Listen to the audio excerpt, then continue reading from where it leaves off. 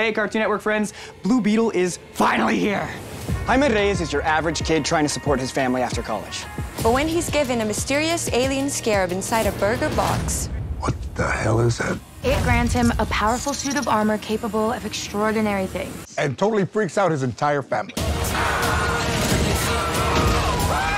Host acquired.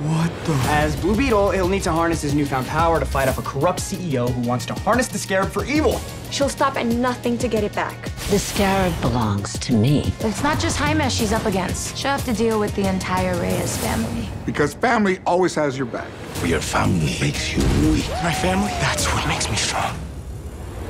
Nana. I advise we back away. Let's